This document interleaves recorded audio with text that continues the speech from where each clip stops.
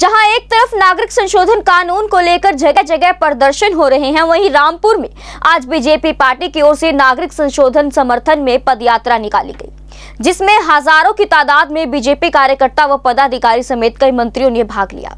इस पद यात्रा में भारत माता की जय के नारों की गूंज भी सुनाई दी और वहीं पुलिस प्रशासन के भी सुरक्षा को लेकर कड़े इंतज़ाम दिखाई दिए। यह पद यात्रा रामपुर के विभिन्न चौराहों से होती हुई थाना सिविल लाइन के पास अंबेडकर पार्क पर जाकर समाप्त हुई। बीजेपी नेता भारत भूषण ने संबोधित करते हुए कहा कि नागरिकता संशोधन बिल लोगों के समर्थन में है। यह किसी के खिलाफ नहीं है। रामपुर, यूपी से संवाददाता रवि सैनी की रिपोर्ट।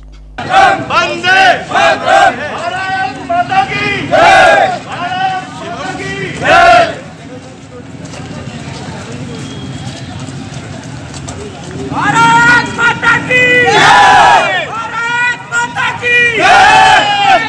रैली निकाली जा रही, क्या मामला है बता। नागरिकता संशोधन बिल के समर्थन में, कानून के समर्थन में कि ये किसी को जागरूक करने के लिए है, किसी के खिलाफ नहीं है और लोगों को नागरिकता देने के लिए, नागरिकता छीनने के लिए नहीं है। ये तख्ती और झंडे लेके हम राष्ट्रवाद के साथ हैं और हम सब लोग हिंदुस्तान एक है, सारे लोग एक हैं।